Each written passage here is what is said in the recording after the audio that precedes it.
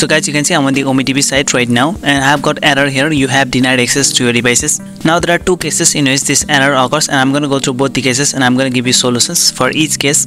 Let's go to the first case. The first case is that you have not allowed OmeTV or your browser to access the camera of your pc so how are we gonna solve this? You're gonna go to the top of the url box and you'll see her camera icon at the top. So click on this camera icon.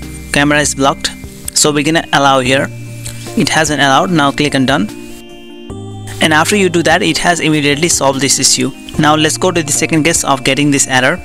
You can see the camera access has been allowed to a OmeTV site but still it's showing the error. So this is the case in which other apps or softwares are accessing your camera or microphone of your PC and you are not able to get it here.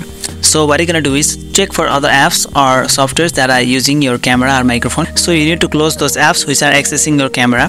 Let's gonna find out and go to tray and you can see here I have a snap camera. And if I launch it you can see it's accessing my camera and microphone. I have uploaded the video here. So it's not allowing me to use the camera on OmeTV so what I'm gonna do is just close this application. And we're gonna close it from the tray also. So right click and exit quit.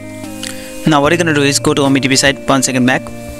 Now just reload the page. As you can see now this error has gone so that's the way guys how you can solve this kind of error on two cases. If you like this video then just give a thumbs up. And if you have found this video very useful then don't forget to subscribe my channel. Okay bye